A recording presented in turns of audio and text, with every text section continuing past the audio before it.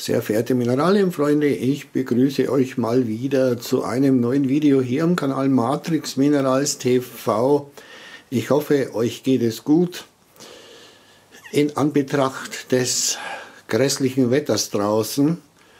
Ähm, und ja, ich habe heute mir erlaubt, mal die Steine rauszunehmen, mal die Vitrinen sauber zu machen und äh, auch die Steine mal ein bisschen zu waschen, denn der Staub lügt nicht, der setzt sich überall fest.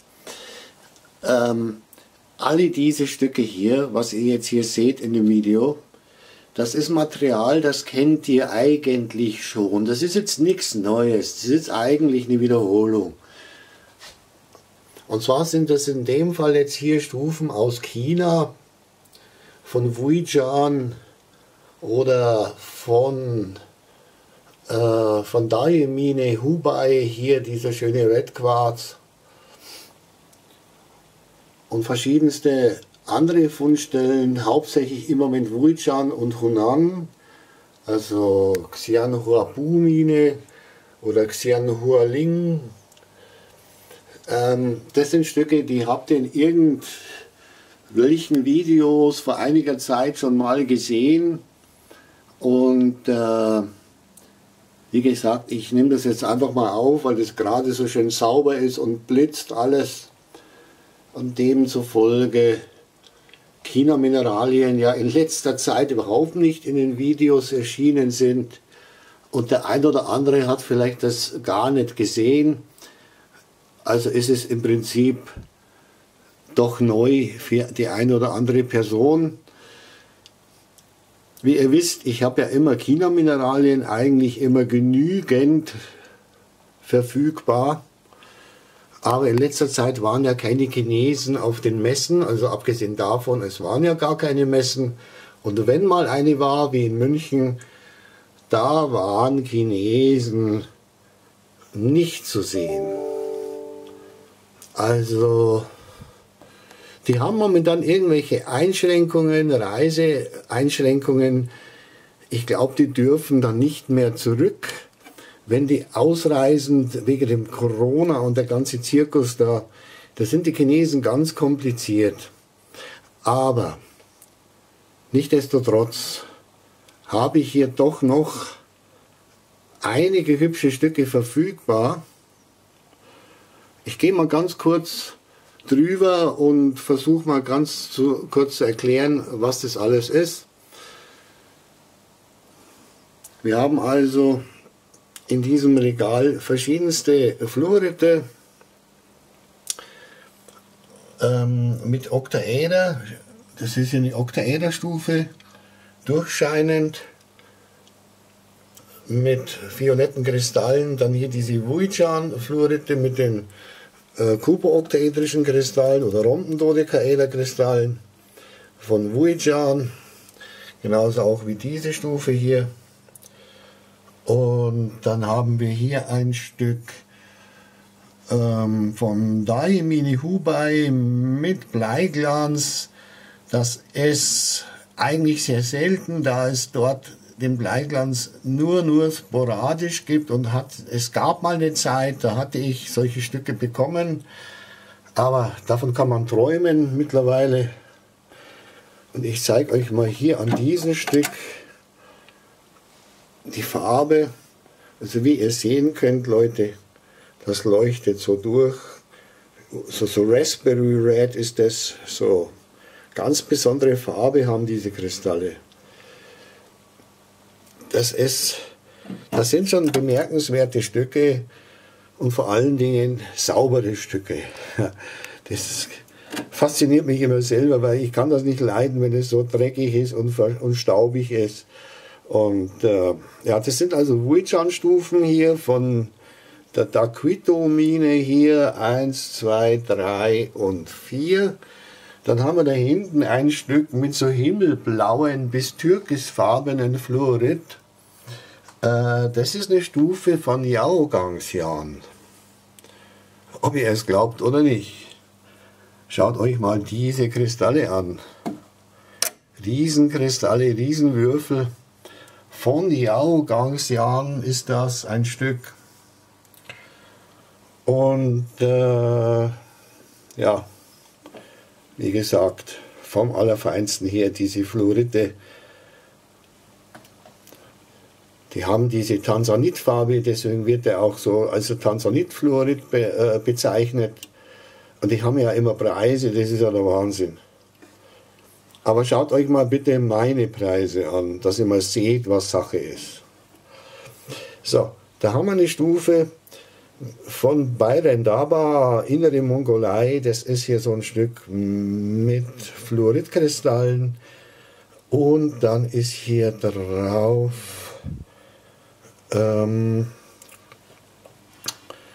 der, wie heißt es wieder?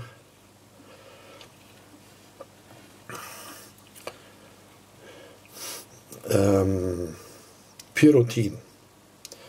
Das wäre es mir fast nicht eingefallen. Denn der Pyrotin ist eigentlich ein Mineral, was in, in, in China sehr selten gibt. Das gibt es nur an dieser Fundstelle ähm, in der Mongolei. Also, das ist also, ich muss dazu sagen, das ist nicht ähm, äh, Huangang muss man dazu sagen, das ist Bayern Daba. So heißt das. Und so hat man das der Herr Ottens. Schönen Gruß soll ich ausrichten vom Herrn Ottens, der Spezialist für die China-Mineralien. Ihr kennt ja das Buch China. Und der Herr Ottens, ein Freund von mir, hat mir gesagt, das kommt von Bayern Daba, das ist ziemlich neu, das Material. Deswegen äh, auch relativ unbekannt. Die drei Stücke da hinten, die vergessen wir mal schnell, denn es, die kommen woanders her. Das ist noch ein Stück von Wuichan. Ihr seht selber, Leute, Dakitomine, fantastische Fluoridkristalle. Da ist noch mal so ein Stück mit Galenit und Dolomit von äh, Daimine Hubei ist das gleiche Fundstelle wie dieser äh, Quarzigel, der dann später noch zu sehen ist. Nochmals von Wuichan. Und hier haben wir zum Beispiel ein Stück mit dem sogenannten Löllingit. Löllingit, das ist ja bekannt eben aus dem Bergwerk in der Mongolei, also Huangang-Mine. Und zur damaligen Zeit hatten die sowas und da ist sogar drauf der ähm, Schilit. Wir haben hier Schillit-Kristalle. Das ist Schilit und Löllingit. Dann haben wir hier großen Kubo-Oktaederkristall von Wuichan, genauso auch nochmal hier so einen violetten, sowie noch ein größeres Stück mit den kubooktaedrischen äh, Kubo Kristallen. Da hinten ist eine schöne große Oktaederstufe, wie gerade schon gesagt. Da müsste ich direkt mal, habe ich leider kein kleineres Stück, dass man das mal rausnimmt und kurz äh, durchleuchtet. Das ist brutal, diese Farbe. Äh, hier haben wir ein Stück, das sind so perimorphosenartige Aushöhlungen drauf, als Quarzkristalle. Äh, das ist eine Unter, die Matrix besteht aus Quarz. Da sind die Fluoridkristalle drauf gewachsen. Äh, Fundort, äh, Fragezeichen. Äh, müsst ihr bitte in der Webseite nachschauen, da steht es drin. Ich kann mir auch nicht alles merken sehr außergewöhnliches Stück. Und da haben wir noch eine Stufe mit diesen Quarzen, ähm, mit dem Hämatit. Chinlong Guangdong ist die Fundstelle. Und da hinten nochmal so eine Stufe mit den violetten Oktaedern. Also tolle Stücke sind das. Also ihr müsst das mal live sehen. Und dann halt die typischen Fluoridstufen von äh, Xianhuabu bzw. Xianhualing Und da oben nochmals die Stufe ebenso von Wujian. Takitomine, große Stufe hier mit kubaoktaedrischen Fluorid, sowie der gerade schon erwähnte äh, Igel-Quarz mit fantastischen Red-Quarz. Also hier, schöner geht es wirklich nicht. Das ist die beste Red-Quarz-Stufe, die ich jemals bekommen habe.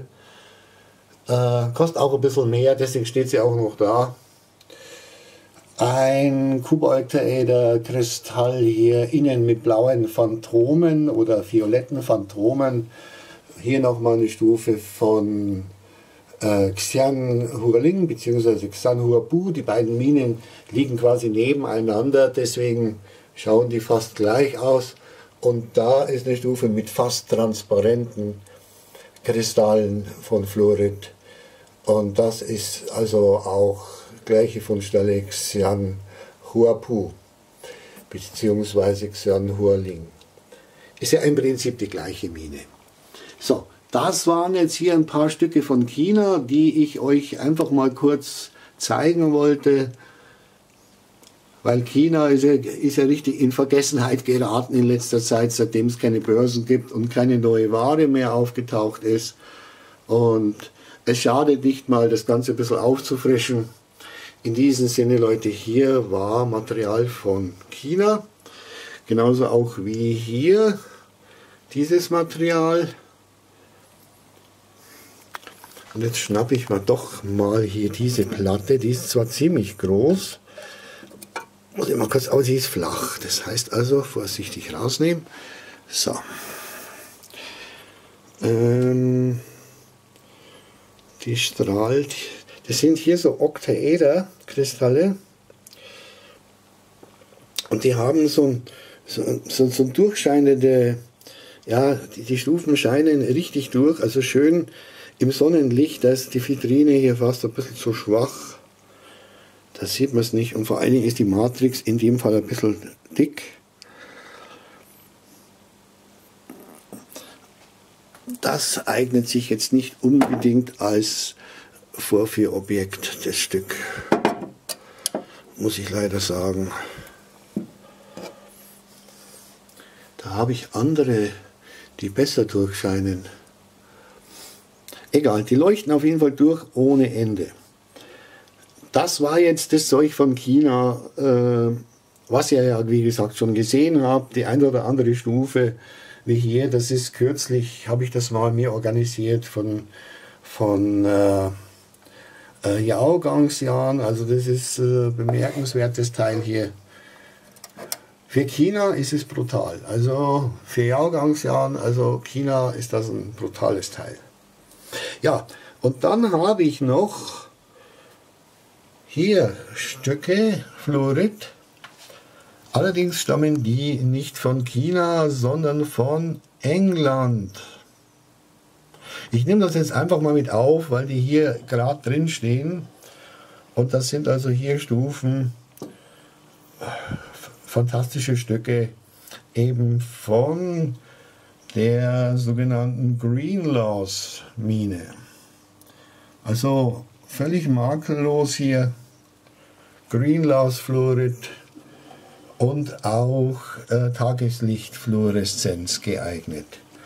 Das ist natürlich schon ein absolutes Teil hier. Das ist, das ist schon genial, das Stück.